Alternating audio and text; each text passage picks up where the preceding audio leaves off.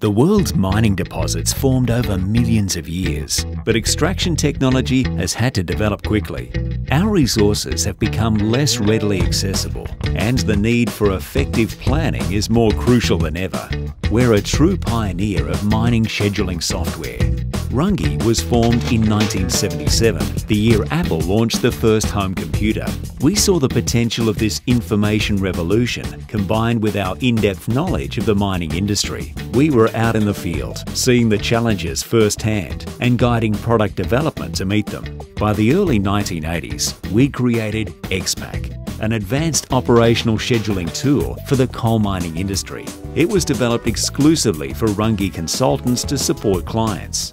But our success brought wide-scale attention, and around the world, our clients wanted access to XPAC. So in 1985, as Nintendo launched the first entertainment system, we answered the call from mining companies. Built on Fortran 77, Unix and DOS, XPAC One was a manual scheduling tool that required a high degree of user input. But it was a quantum leap for the industry and the era. It became the tool of choice for open-cut coal mining, and it was just the beginning.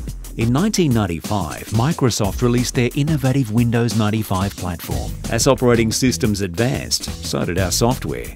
We launched the XPAC 6 Auto Scheduler module, a rules-based scheduling engine with a heuristic blending algorithm. It made the package more intuitive, more capable, and more effective. XPAC was now ready to support metalliferous mines. In 1999, Microsoft Windows 98 SE transformed computer operating systems again. We lost no time in evolving XPAC and the Auto Scheduler module. XPAC 7 was born. A full rewrite and major functional upgrade running on the newly released platform. It was now able to create 3D graphic simulations to pinpoint when and where operations should take place. That same year, XPAC 7 also married geological and quality data with mine design, delivering a powerful and versatile scheduling engine for underground coal.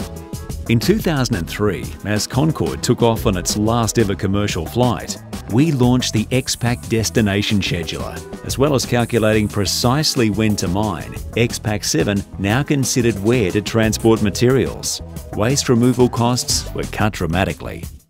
And the best is still to come. In 2012, we launch XPAC 712, a new, more efficient user interface with split-screen windows and drag and drop toolbar customization and improved 3D graphics for spatial data, enhanced features and new functionality, keeping our consultants and our clients ahead of the times. It's what we've always done, and we always will, because as the industry experts in scheduling, we know better than anyone that there's value through planning.